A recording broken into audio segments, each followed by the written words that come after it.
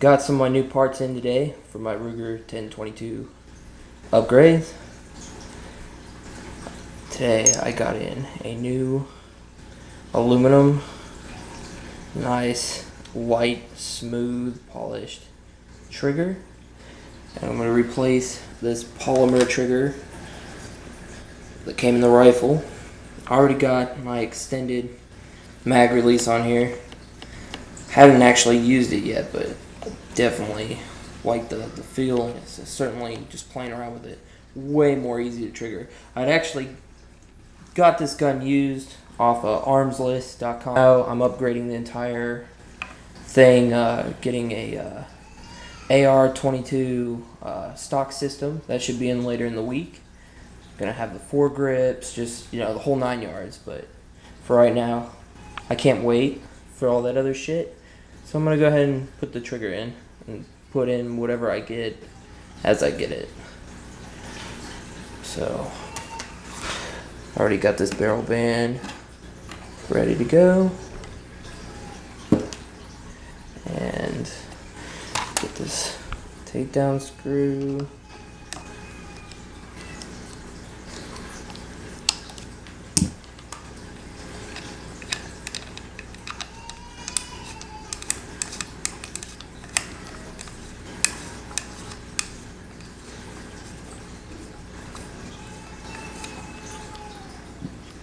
Okay. Make sure. Oh yeah, this uh, trigger. Gonna go ahead and throw this up for anyone interest, interested. Found it on eBay. Atomic Arms. This is kind of their thing saying, if you're happy, leave a feedback. But it seems pretty high quality just from you know holding it. It's pretty nice, solid. Again, like I said, aluminum, so it's really light, but it has a real nice, smooth, clean, just crisp feel to it. Way better, way, way better than this polymer bullshit. Anyway, let's get this stock off. Alright. Now, oh, yep, there goes my buffer pin. That's another one I'm going to go ahead and make a video on. Well, maybe not, but I'm going to go ahead and do a, somebody else had a really great video where they just take a nylon bolt, bought it at Home Depot for a few dollars, cut it to length, and jammed it in. But yeah, I definitely want to replace this and save my receiver from future damage. So I plan on running a shit ton of ammo through this. So, okay, I'm gonna go ahead and pop. I believe it's these two pins out. Alright, got my pins removed from the trigger group. And of course, everything kind of toppled out. Here's that polymer trigger. Hopefully I can uh, get it all back together in order and right. Uh, luckily I snapped a few pictures before I popped the pins. Hopefully use as a reference and then I'm sure I can just Google it real quick, some diagrams or whatnot. But it's always good to try and be sure you know what you're doing. There's all the parts. I'm gonna go ahead and swap this out and try and piece it back together.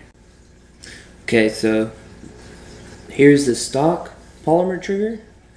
I got it out of the 10/22. You can see it has some uh, molded grooving in it for, I'm assuming, grip, but this feels cheap. Really does. This feels like crap. It's not smooth, it's rough. This feels like a cheap, crappy Chinese phone or MP3 player. You know what I mean? You grab something, you, you want some, you want a little bit of weight to it. Yeah.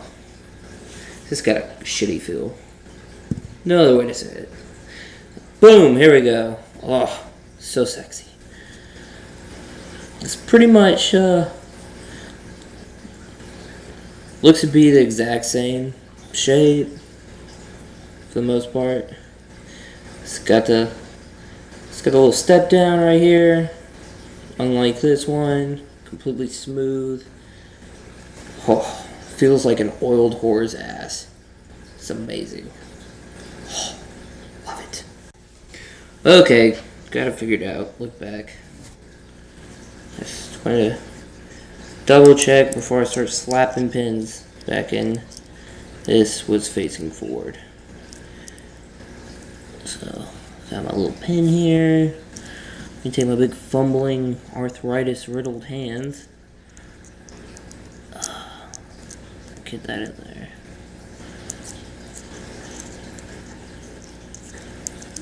There we go. This feels a little, a little bit loose, but okay, we'll get that in. Now, figure out how the heck all this was in there.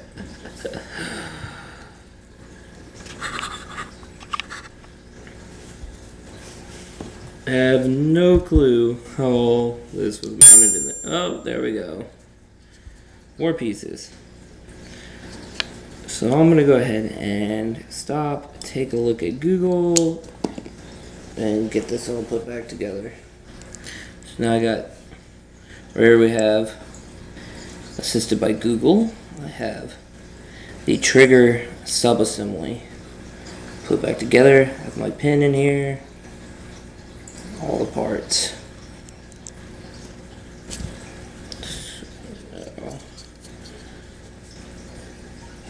Take the housing, going to put this piece back in. Sorry y'all, I'm not claiming to be any kind of expert or know remotely close what I'm doing. So I know all the general parts, but I'm not even gonna attempt to say that what's what. You all know what it is. If you don't, you can see it. Okay, so I'm gonna fit the sub-assembly. I'm gonna slide it back in. Now, try and reline up this hole for the pin. Make sure to keep, don't lose any of your pins, keep them in order. Uh, got a little bit of fuzz on that. I made sure as I pulled mine out, I laid them out in order that I would be able to recognize to put it back in. So you see that hole, that pretty close. I'll try to just jiggle this in.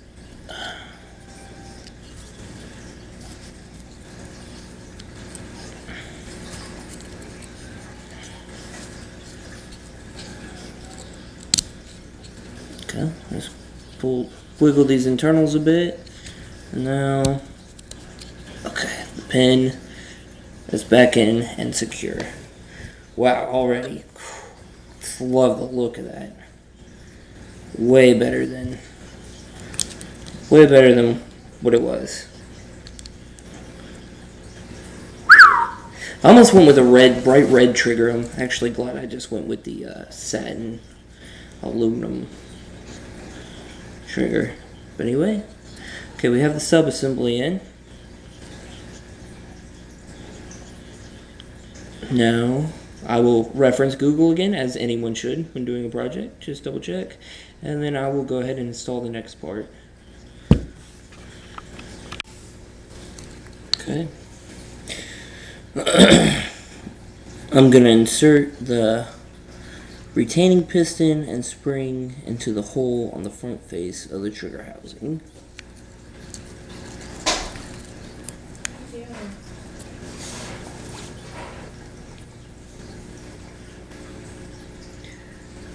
I'm going to use my index finger to depress the piston while I insert the magazine release lever from the bottom of the trigger housing.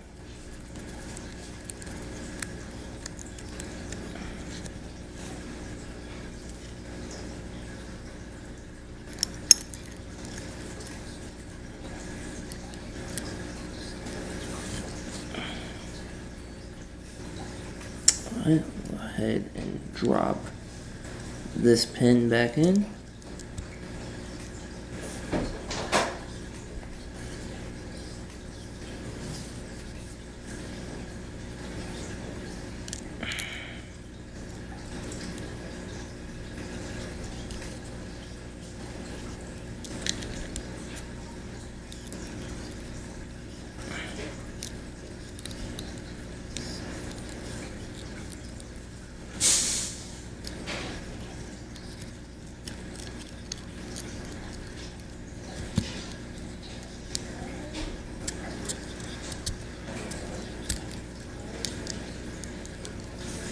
Okay.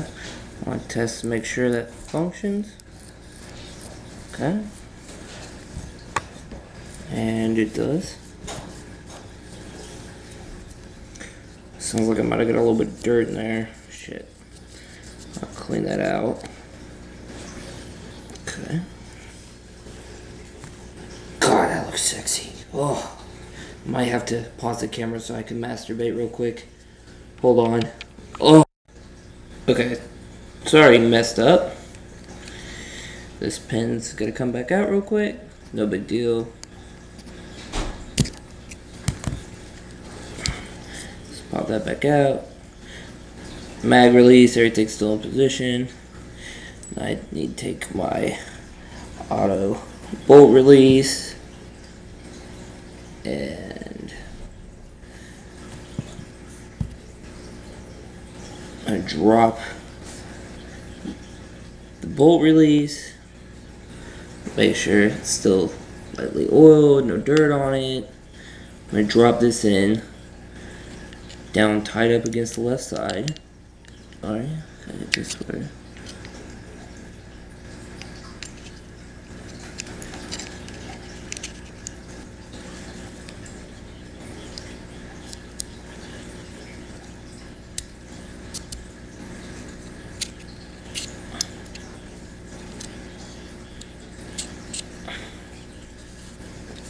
Okay, so there we go. Camera's about to die. Let me go ahead and plug that in, but there we go.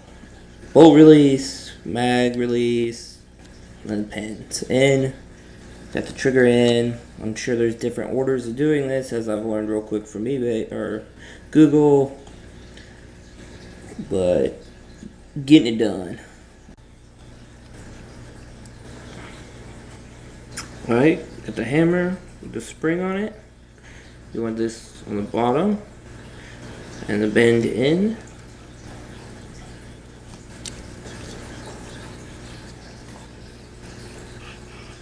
Take your housing.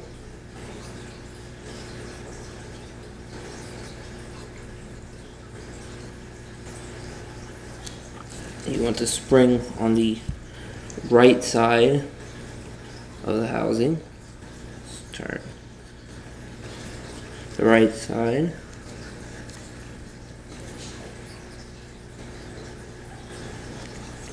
Lift lift the mag or the bolt release plate up. Slide the hammer bushing under it and then align the cross pin hole. So I dropped it in, made sure the spring is to the right side, make sure the plate is lifted up above the bushing, and then line the hole up.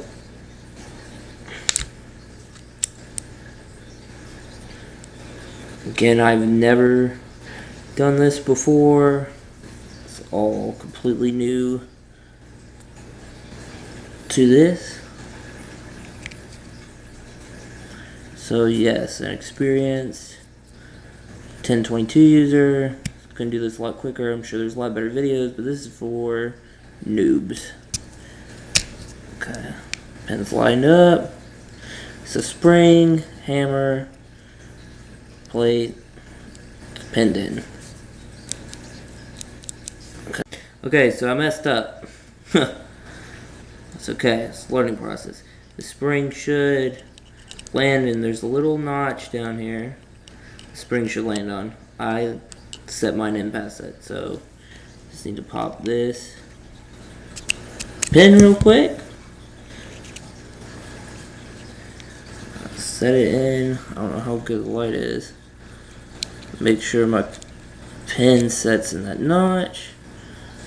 Then let the hammer settle a little bit and line up up line up this hole for the pin okay and the pin let me see if I can turn the light on there we go okay so this pin where the bend is right down in there has to sit on top of that with that little notch. So got that wrong a minute ago. But there we go. That's in. The hammer's in. Here's our pin. We're gonna head set this in. Okay, pin's in. Spring. The bolt release is over the bushing. So we should be good to go. Trying to keep any kind of dirt, debris, any little fabric, bits of fabric, anything like that out of here. Okay, so now I have the ejector. Set it in the notch. Line it up with the pin.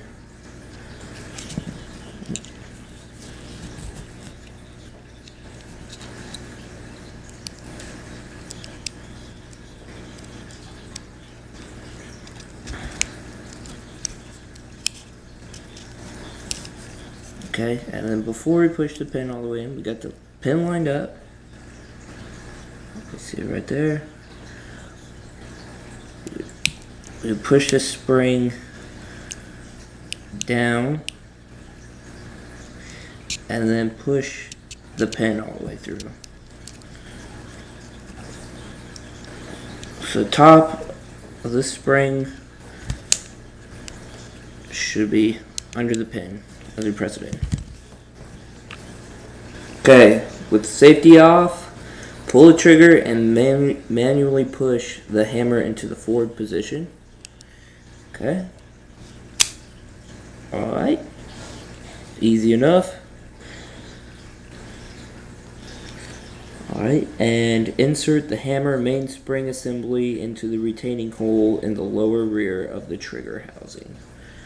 So that is down here.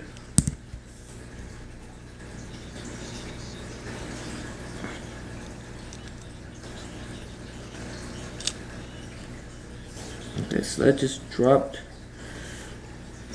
right in.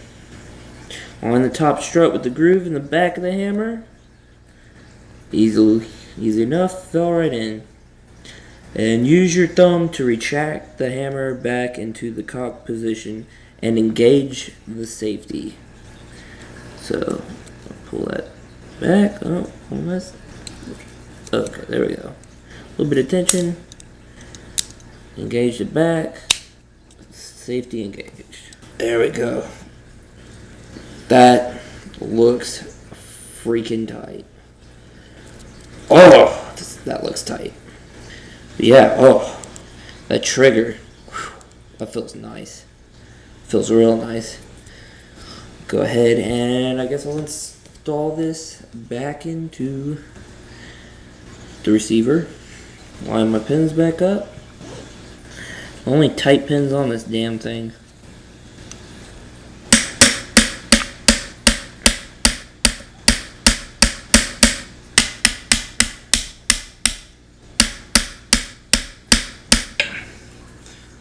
Drop this in ever so carefully.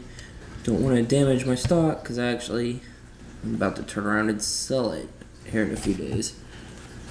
Okay. So, there we go. Oh. Just makes you want to cry.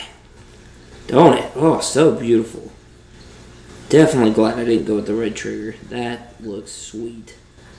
It's going to look really awesome in the AR-15 style platform Uh, I purchased for this, which is the ATI AR-22 eight-sided stock system.